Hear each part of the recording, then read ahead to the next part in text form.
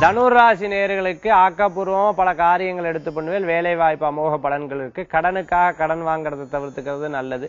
சில நேரங்கள் அம்மா அப்பா ஏதாவது சொல்லிட்டா குழந்தைகள் கோவிச்சு வைக்கிறது. யதார்த்தமா கோவிச்சுக்கிறது நல்லது. ஆனா கோவிச்சுட்டு எங்கேனும் போயிட்டு ரெண்டு நாளுக்கு மூணு நாள் கழிச்சு வருது அல்லது கோவிச்சுட்டு அவ மனசை பதற வைக்கிறதெல்லாம் தவிர்த்துக்கிறது நல்லது. வீட்டில் இருக்கக்கூடிய சின்ன சின்ன விஷயங்களும் கொஞ்சம் கவனம் கொடுத்து காதில் கேட்டு அவளுக்கு தேவையான சில விஷயங்கள்லாம் பண்ணி கொடுத்துட்டா கணவன் மனைவிக்கிறக்கே இருக்கக்கூடிய பிரச்சனைகள் தீரும்.